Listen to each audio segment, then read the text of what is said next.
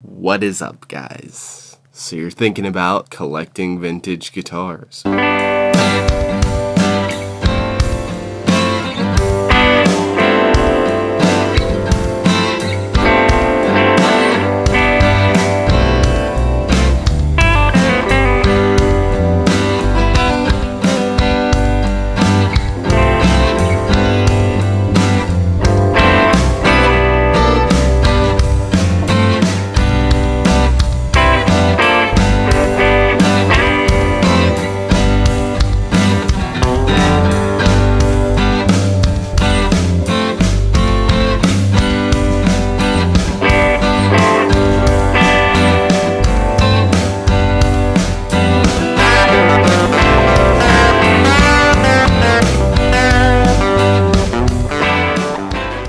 Where do you start? What do you buy? What's your budget? Before we get into all that, though, uh, if you haven't subscribed yet, I implore you to do so. That would be dope. It would help. It would help me. It would help me buy more vintage guitars and eat food, maybe. Uh, although I'm not counting on that now. I'm fine. Don't worry but uh, you know, it just helps me make more videos and uh, you know do projects like this. So, uh, but I appreciate you guys tuning in. If you like what I'm doing here, it does help the channel grow. So if you subscribe, sweet. If not, that's fine. You can check me out uh, over on Instagram too. I post a little short reels and stuff, and I'm on TikTok as well. I'll link that down below. And then um, really really what would be amazing is if you uh, hit me up over on Spotify, listen to my music. That's why I do this. I like I like making music, so helps me get my music out there. And uh,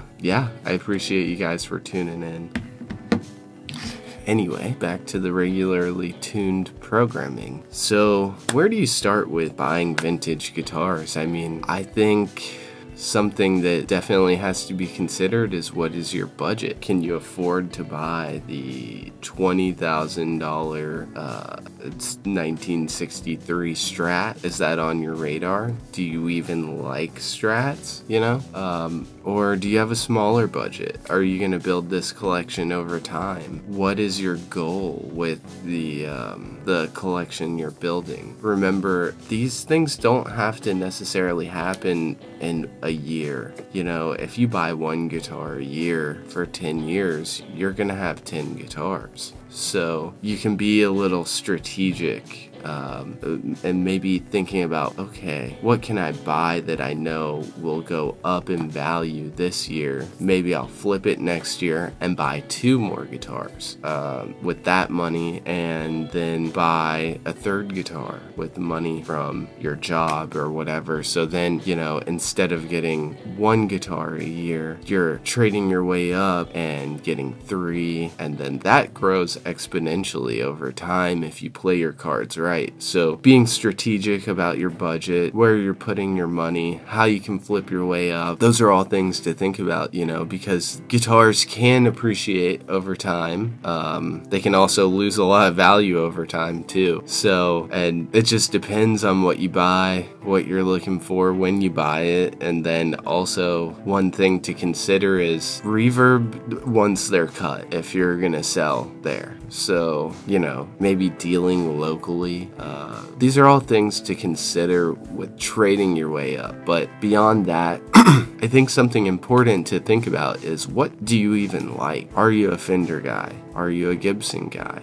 Not everybody can afford a quarter of a million dollar Gibson. So if you like Gibson, maybe considering 70s Gibson. I think uh, a lot of people like to discredit guitars built in the 70s from both Fender and Gibson. A lot of the things that I seem to hear about these guitars, oh, the volute on the neck is, you know, at, like if you've been on YouTube for more than a minute, you've probably seen Uncle Larry and he hates the volute on the neck, but the guitar he's owned the longest has a volute on the neck. I love 70s guitars. I love the volute also. That's a personal preference for me. And uh, the reason I like it is because I've snapped a headstock, you know? So anything that will strengthen that, I'll take a volute on the neck. I think it's cool. I think anything that's gonna make the guitar last longer is great. So I like no complaints from me. Like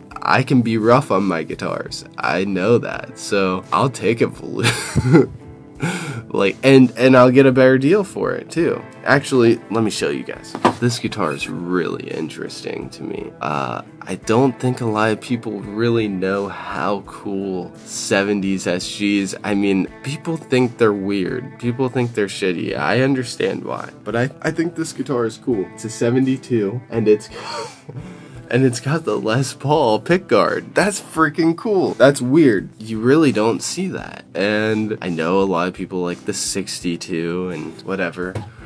But uh, I don't know, this guitar is special to me and I like that big honkin' volute. I think it's cool. I want my guitar to, uh, that I mean, this thing I could throw across the room and it's gonna be fine. And I kinda like the dot inlays, you know, the Gibson embossed, uh, the Gibson embossed pickup is very cool to me. That's that's different. That's that's sweet. And uh, I don't know. I got it for 800 bucks too. So it's like if you're willing to go for the 70s stuff, you know, you're going to get a better deal, you know? I've definitely seen 70s Les Pauls for 2500 bucks all day. And you might like with those mini humbuckers too. I don't have one yet, but that's that's a cool guitar and that's a good deal for a less a vintage Les Paul. Um, you know, you can also get a Black Beauty from the 70s for 5,000 bucks. You know, that's a lot better than 70,000. so, I mean, maybe thinking outside of the box you know. And if you're not um, into American guitars, maybe you're into Italian or Japanese. I really love Japanese guitars. Uh, we'll talk about that in a minute, though. Play this acoustic at the beginning. It is a lawsuit era Ibanez based on a Guild D40 and I love this guitar. It's awesome. Uh yeah, that's all I have to say about it. I think the Japanese made stuff is the best stuff out there for the money and Ibanez is no exception. Ibanez makes a great guitar, and they still do to, to, to today. They make an amazing guitar. I don't have a modern Ibanez, but the 70s stuff, I have been, I've been after the 70s stuff for a decade now, so I have a bunch of 70s stuff is what I like personally. I do have some 60s uh, here and there, stuff that is you know, not outrageously expensive. Um, you know, Stratotelli is on my radar, but you know, I I like oddball stuff and um, I like good deals, so that's something to look out for. You know, I got this for 250 bucks. It plays just like a guild too, which is incredible because a vintage guild might be 2,500. Um, and this is just a tenth of the price for the essentially the same guitar. Honestly, this might be have better craftsmanship ship than the Guild, and uh, that was a big problem for these companies in the 70s. They didn't want to have to compete the Japanese manufacturers over the same designs because they were just doing it so much better. And it's really incredible uh, when you pick up these instruments and you see for yourself how good they are, especially if they're set up well and they're well maintained. They just, they sound amazing. So I would definitely recommend that to anyone. Uh, same line of thought for the Japanese stuff and kind of oddball stuff. Uh, I love Epiphones, and the 60s Epiphones before Gibson bought them are amazing. This is the 70s though, and they're they're slept on. They truly are. Um, this was my main acoustic guitar for eight years when I was learning, and uh, now I just have it as a uh, Nashville high strung.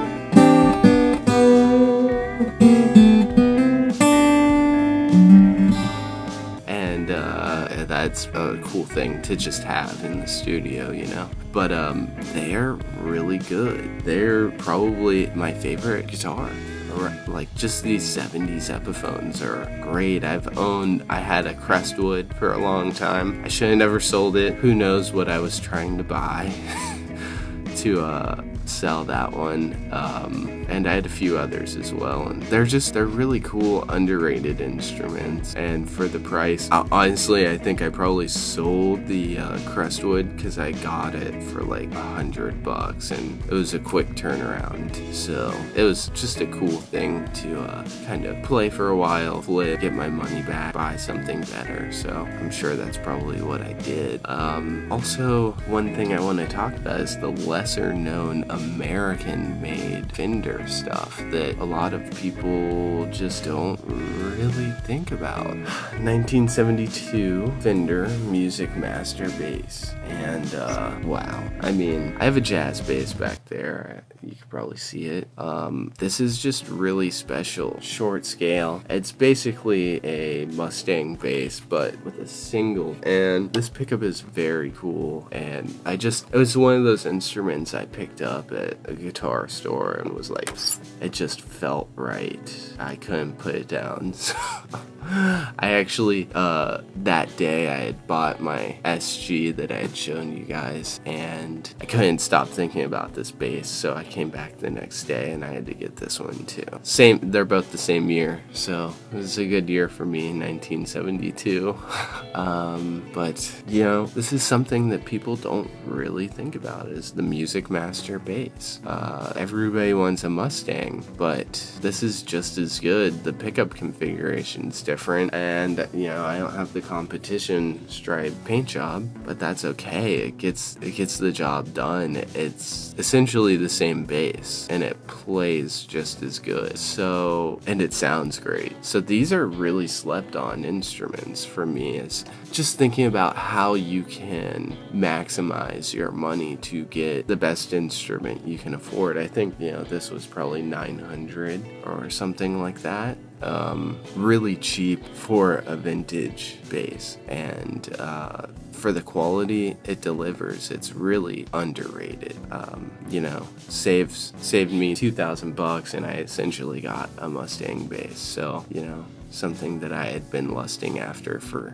years and years and years. And uh, you know this was a good alternative in my price range. So looking for alternatives that maybe meet the need that you have, um, meet the need that you have without breaking the bank is super important. So I would definitely recommend that to anybody who is, you know, just getting in the game of vintage guitars. Um, and just considering, you know, like, you know, and just considering what are you looking for? What meets your needs? Are you an acoustic guy? Are you an electric? Uh, do you like slide guitars? Are you a bass player? Um, maybe you're jack of all trades like me, so you want a little bit of everything, and that's fine too. I mean, so just thinking about how you're going to um, represent your collection. You know, I know there's a lot of collectors out there that they only play Gibson, they only play Fender, they only play PRS, and that's fine. To me, that's a little boring. I want one of everything. Um, and I don't discriminate against new guitars either. I mean, those are my American Deluxe brother and sister, Tele and Strat. I got them brand new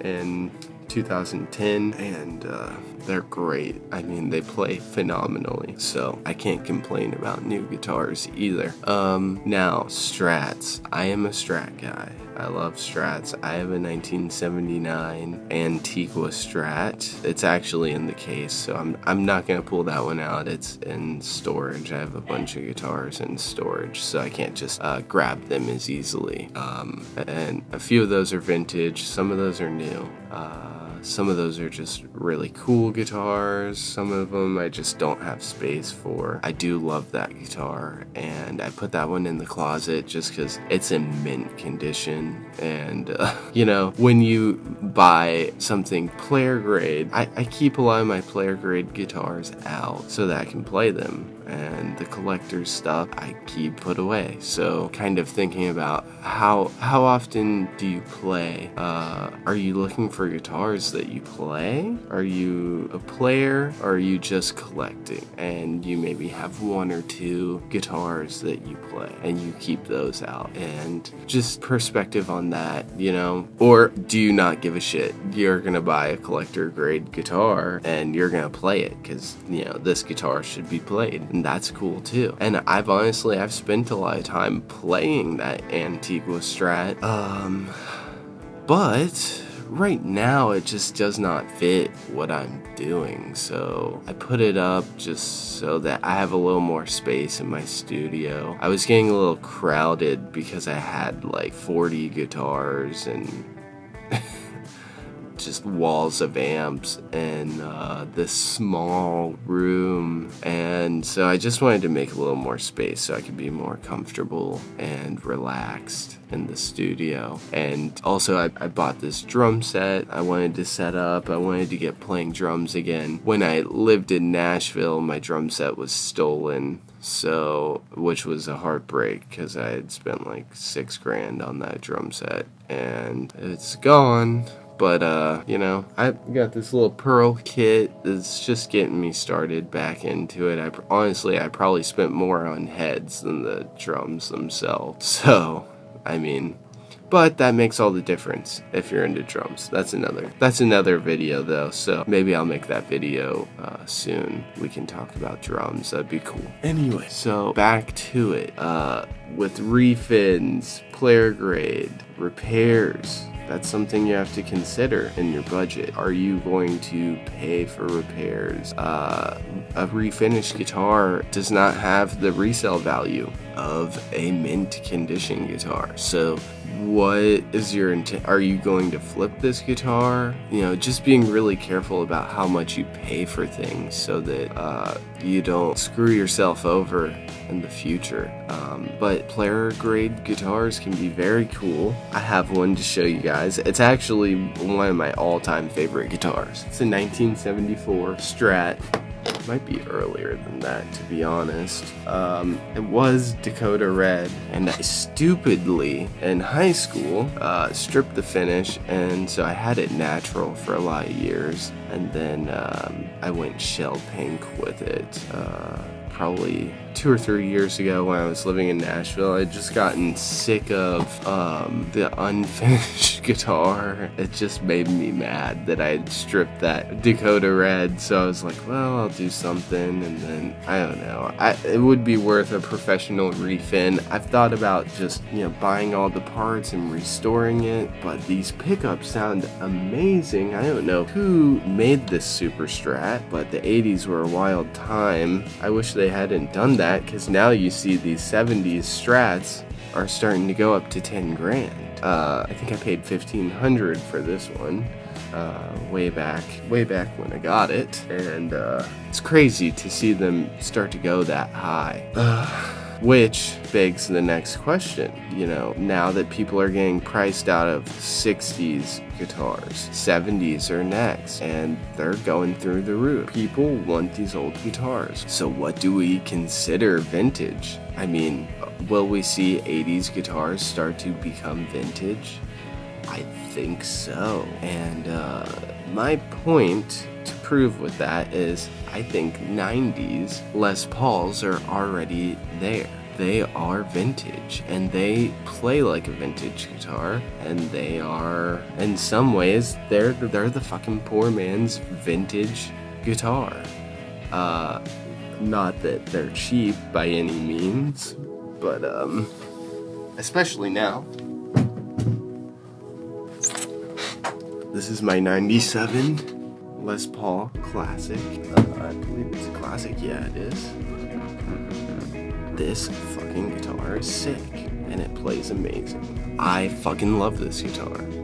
Um, it's it feels like a vintage guitar. It's aged really nicely over the past nearly 30 years. It's almost 30 years old. So I just I think it's a matter of time until we see the 80s guitars start to become un- unattainable, like the 70s guitars and the 60s guitars. And people will want quality vintage guitars.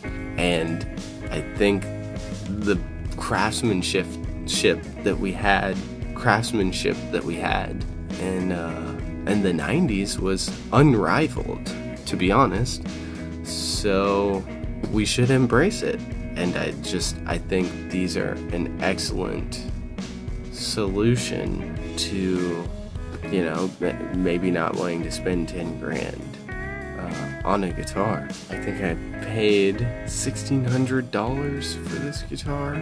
So it's one of the more expensive guitars in my collection. Um, I also have a 90s White Falcon, which, if you know anything about Gretsch, in the 90s, a lot of that stuff was made in Japan, and now uh, mine's in 93, so uh, same mine's in 93 so same year i was born 30 years old and um,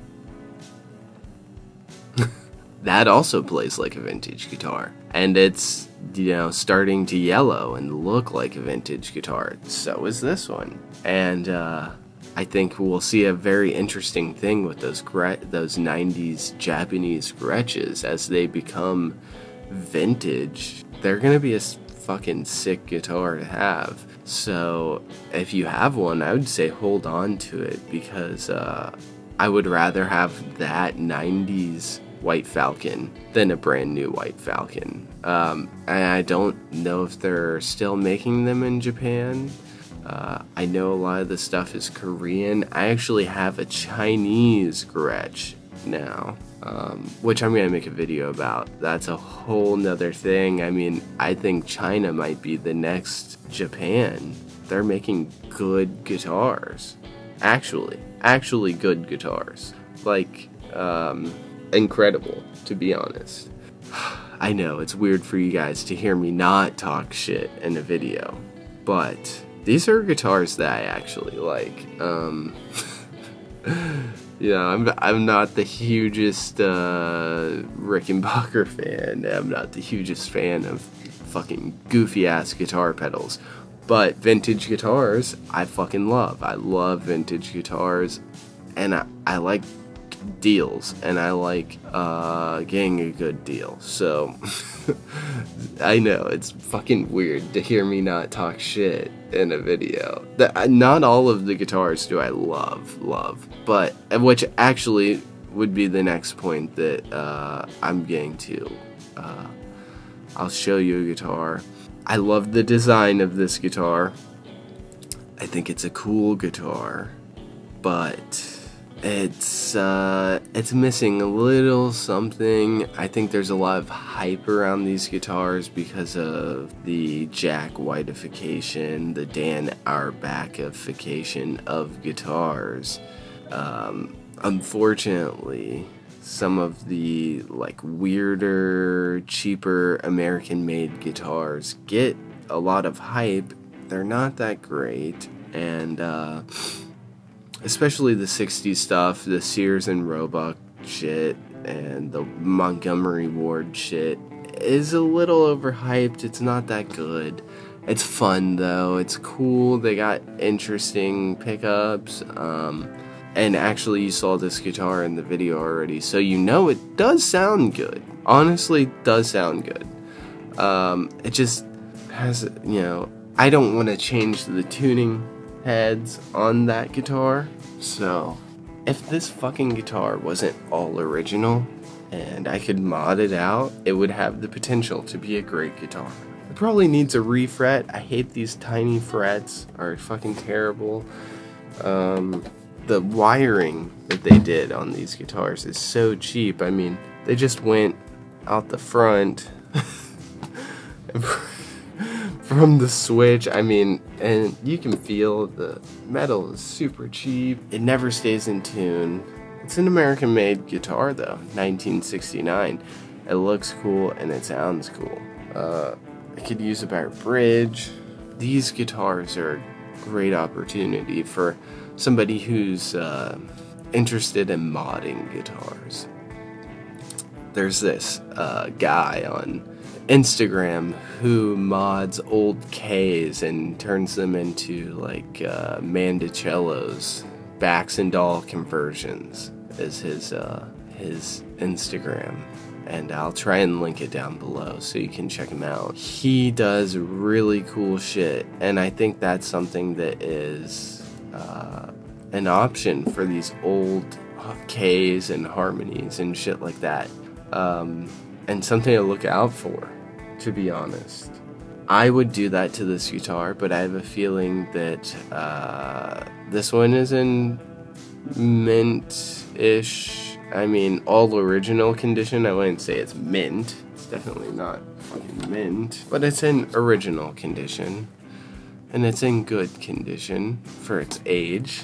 It's in 1969, so I think just keeping it with the original parts might go a long way to a collector who maybe one day I'll sell it and uh, put the money towards something else. But uh, for now, it's in my collection and I love it. Uh, it's cool.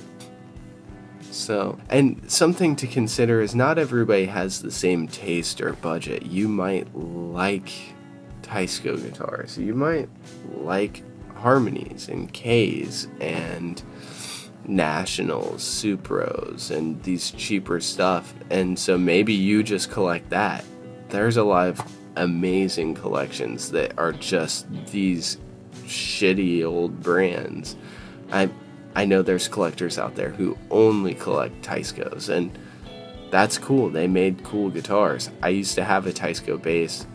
Uh, somebody stole it and pawned it though. so my friend um, which maybe I'll actually make a video about him. Uh, that could be a good video idea. His uncle was the, uh, you might know him as the uh, drummer of Red Hot Chili Peppers, first drummer, Jack Irons. Um, he was, he was in my band, uh, which is interesting.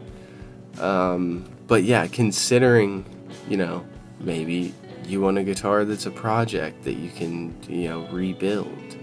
Uh, maybe you don't care if it's player grade. You can get some better deals. Um, maybe going for 80s guitars in anticipation of their price going up.